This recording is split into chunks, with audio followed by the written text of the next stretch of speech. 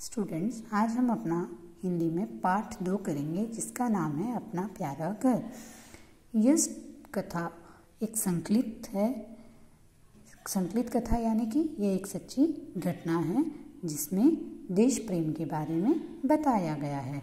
बात सन 1943 1943 ईस्वी के दिसंबर महीने की है। कड़ाके की सर्दी थी। जर्मनी की सेना, सोवियत रूस की सेना से एक लंबे अरसे तक जूसी जूसी थक चुकी थी, लेकिन अब भी वह मॉस्को के चारों ओर घेरा डाले हुए थी। लंबे समय तक भीषण युद्ध के बीच मॉस्को की रक्षा करने के बाद अब सोवियत सैनिकों ने शत्रु पर हमले शुरू कर दिए थे। तो कौन से ईयर की बात बता रहे हैं? 1943 1943 ईस्वी के। कौन से महीने? दिसंबर महीने की। और दिसंबर में क्या हो रहा था? बहुत ही तेज़ अच्छी ज़ोर की सर्दी थी। तो जर्मनी की सेना ने किस पर हमला किया था? सोवियत रूस पर। वो बहुत टाइम तक रूस से लड़ती रही, पर फिर भी मॉस्को के अंदर उनको एंट्री नहीं मिली। और रूस ने क्या किया? रूस यानी कि रशिया। रशिया ने मॉस्को की रक्षा करने के बाद, एक घमासान युद्ध के बाद, युद्ध के बीच मॉस्को की रक्षा करने के बाद रू, रूस के सोल्जर्स रशियन सोल्जर्स ने जर्मन अपने जर्मनी सेना मतलब यानी कि अपने शत्रु पर हमला करना शुरू कर दिया था। तब क्या हुआ? मेजर जनरल कातकोव का टैंक ब्रिगेड दुश्मन के पीछे पीछे तेज़ी से आगे बढ़ रहा था। वो उनके पीछे पीछे जा रहे थे। कौन थे? मेजर जनरल उनका नाम था कातकोव। वो अपने दुश्मन के पीछे पीछे बहुत ही तेज़ी से जा रहे थे। अचानक टैंकों का आगे बढ़ना रुक गया। जर्मन सेना ने इस पुल को बारूदी सुरंगें बिछाकर उड़ा दिया था, जिसके ऊपर से सोवियत टैंक ब्रिगेड को नदी पार करके आगे बढ़ना था। तो वो अपने दुश्मन के पीछे पीछे जा रहे थे, बहुत ही तेज़ी से, लेकिन अचानक उनका टैंक रुक गया। क्यों रुक गया? आगे बढ़ना रुक गया। इसकी वजह यह थी कि जो जर्मनी सेना थी, उन्होंने पुल के नीचे एक बारूदी सुरंग बनाई थी। बारूदी सुरंग बिछाकर उस पुल को उन बारूद की सुरंग के हेल्प से उसको उड़ा दिया। पुल क्या था? यह एक ब्रिज था। कनेक्टिविटी थी नदी के इस पार से उस पार जाने के लिए, जिसके ऊपर से सोवियत टैंक ब्रिगेड को नदी पार करके आगे बढ़ना था। टैंक चालकों ने अपने टैंकों के इंजन का बंद कर दिए। वे सब देख रहे थे कि जर्मन सेना उनसे दूर और दूर होती जा रही थी। किसी टैंक चालक ने भागती हुई सेना पर गोले दाग दिए। लेकिन यह गोलों की बर्बादी ही थी, क्योंकि जर्मन सेना टैंकों की मार से दूर हो चुकी थी। तो क्या हुआ? टैंक चालकों ने सबने अपने अपने इंजन बंद कर दिए, क्योंकि वे सब देख रहे थे कि जर्मन सेना उनसे बहुत ही दूर जाई जा रही थी, दूर जाती जा रही थी, और ये लोग आगे बढ़ नहीं पा रहे थे, क्योंकि पुल टूट चुका था।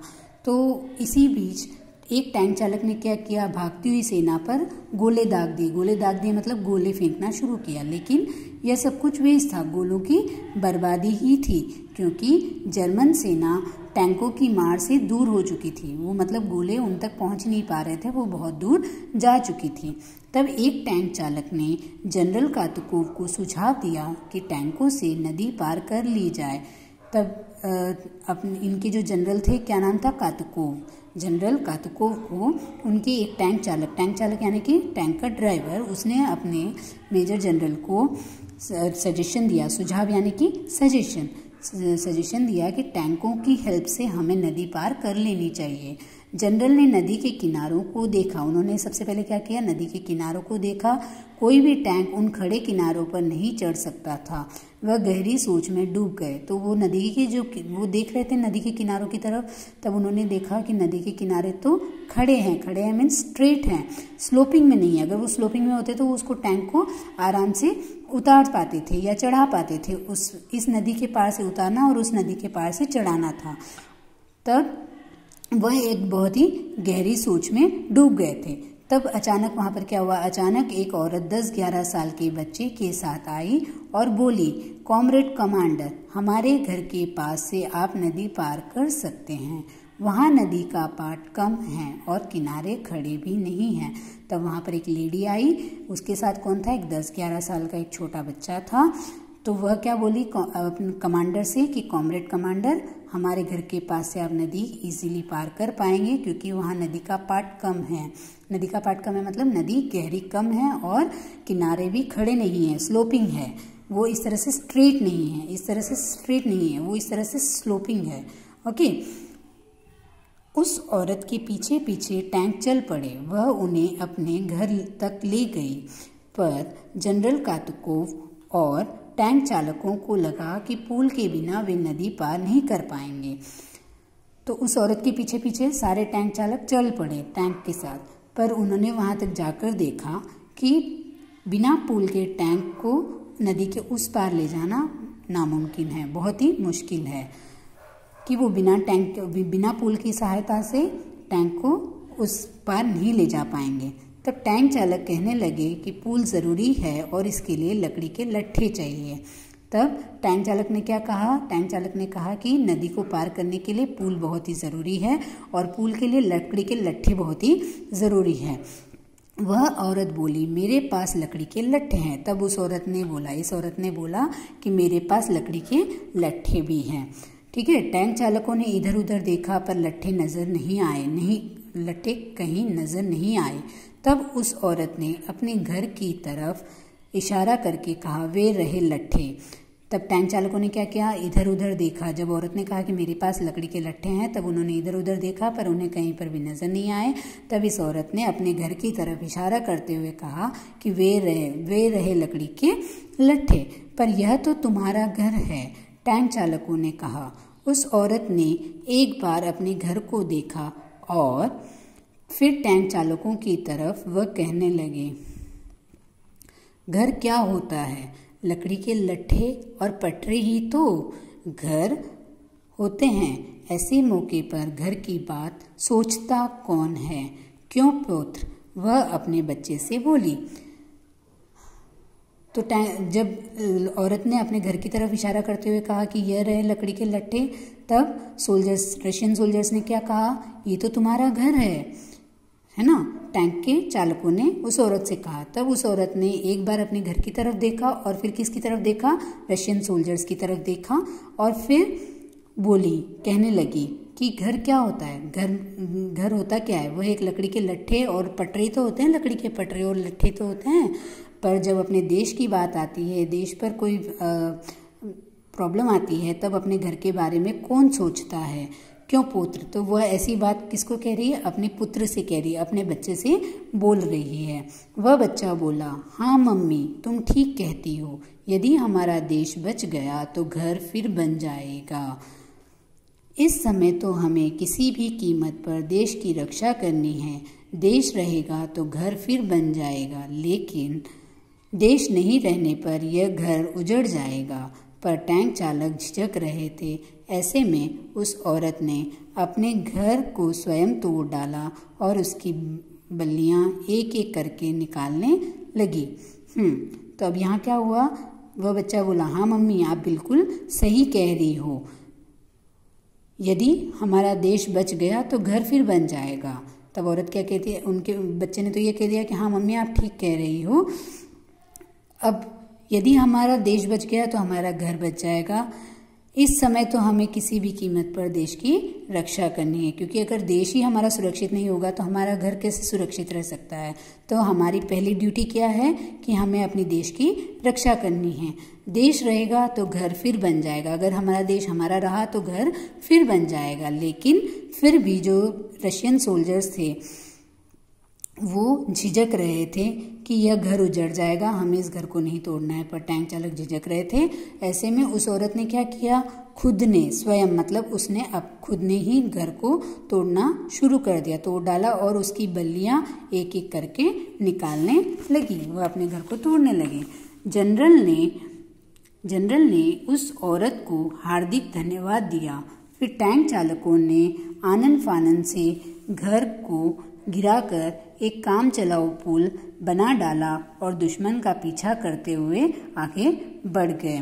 तब क्या हुआ? जनरल ने सबसे पहले, देखो, यहाँ पर भी जनरल जो है, उस लेडी को थैंक्स कहना नहीं भूल रहे हैं। वो सबसे पहले लेडी को धन्यवाद कर रहे हैं, धन्यवाद दे रहे हैं कि जनरल ने उस औरत को हार्दिक धन्यवाद दिया, बहुत दिल से हार्दिक धन्यवाद दिया।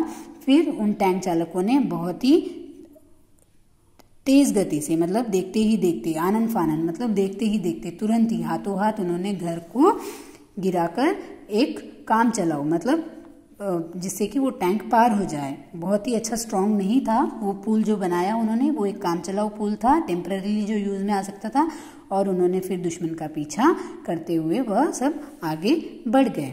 उसके बाद पूरा रूस मतलब पूरा रूस, यानी कि पूरा रशिया नव निर्माण के कार्य में जुट गया। अंततः युद्ध समाप्त हुआ। जो पूरा रशिया है, वो फिर से निर्माण होने लगा, नया बनने लगा। नया बन, नया रशिया बनाने में वो सारे के सारे जुट गए और लास्ट में युद्ध समाप्त हो गया। सोवियत रूस जीता। कौन जीता उस युद्ध में? रशिया जीता। सोवियत रूस जीता। लाखों की संख्या में जर्मन सैनिक बंदी बना लिए गए। और जर्मन की जो सेना थी, जो शत्रु था, उनकी लाखों की सेना, लाखों सोल्जर्स जर्मन जर्मन सोल्जर्स को उन्होंने बंदी बना लिया और जेल में डाल दिया। लेकिन मेजर जनरल कातकोव उस नारी और बच्चे को भुला ना सके। जो जनरल हैं मेजर हैं, कातकोव, वो उस लेडी को और उस बच्चे को नहीं भुला पाए। आज उस नदी के किनारे उसी जगह पर सुंदर मकान खड़ा है। तो आज भी अगर आप जाकर देखेंगे तो उस नदी के किनारे एक सुंदर सा घर है। उस पर लिखा हुआ है, अल्कसांद्रा अल्कसांद्रा ग्रिगोरी एवना और प्योत्र इवानोविच कुजनेत्सो को देशभक्ति पूर्ण युद्ध में उनकी त्याग और वीरतापूर्ण कार्य के लिए समर्पित। तो युद्ध का खत्म होने के बाद मेजर जनरल ने क्या किया? वहाँ पर अभी भी उस नदी के किनारे एक घर बना हुआ है। अगर आप जाकर देखोगे तो वहाँ पर अभी भी एक घर बना हुआ है। वो उनको भूल नहीं पाए थे। तो इन रिटर्न में उन्होंने युद्ध के समाप्त होने के पश्चात उस लेडी को घर बना करके दिया और उस घर के सबसे एंट्रेंस पर मतलब बाहरी नेम प्लेट लगा हुआ है, जिसपे उन दोनों का मतलब उस लेडी का और उसके बच्चे का नाम लिखा हुआ है। क्या नाम था? अल्कसांद्रा ग्रिगोरी एवना और उनके पुत्र का नाम इवानोविच कुजनेत्सोव। इन दोनों का नाम लिखा हुआ है। को आगे क्या लिखा हुआ है? को देशभक्ति पूर्ण युद्ध में उनके त्याग और वीरतापूर्ण कार्य के लिए समर्पित। उन्होंने उनको समर्पित कर दिया मतलब दे दिया। ठीक है? तो यह था हमारा पाठ, अपना प्यारा घर। इससे हमें यह शिक्षा मिलती है कि जब आपको अपनी देश की सहायता करनी हो या देश को आपकी ज़रूरत हो तो आपकी सबसे पहली ड्यूटी क्या बनती है? कि जिस किसी भी तरह आप अपने देश की हेल्प कर पाते हैं या अपने देश को बचा पाते हैं तो आप उसे करिए। झिझकिए मत, क्योंकि अगर हमारा देश सुरक्षित है तो हम सुरक्षित हैं। अगर हमारा देश सुरक्षित नहीं है तो हम भी सुरक्षित नहीं हैं। क्योंकि देश, प्रेम, वीरता, निर्भीकता, ये हर सिटीजन में होना चाहिए। हमें, हमारे अंदर बलिदान की भावना होनी चाहिए। हमें दूसरों की रक्षा पहले करनी चाहिए, दूसरों की मदद करनी चाहिए। क्योंकि जब भी हम दूसरों की मदद करते हैं तो गॉड, भगवान जी हमें उतना ही फल वापस देते हैं, जैसे कि इस लेडी को उन सोल्जर्स ने नया घर वापस से बनाकर दिया था, है ना? तो हमें कभी भी अपने देश के लिए तत्पर तत्पर यानी कि तैयार रहना चाहिए। और देश, प्रेम की भावना हमेशा दूसरों में भी जगाते रहना चाहिए। आपको अपने फ्रेंड्स को अपने आसपास वालों को भी, अपने नेशन के लिए प्रेरित करना चाहिए कि हमें अपने देश के लिए क्या करना चाहिए और क्या नहीं। तो ठीक है बच्चों, मैं आशा करती हूँ कि आप भी अपने देश के लिए सदा तत्पर तैयार रहेंगे। Okay thank you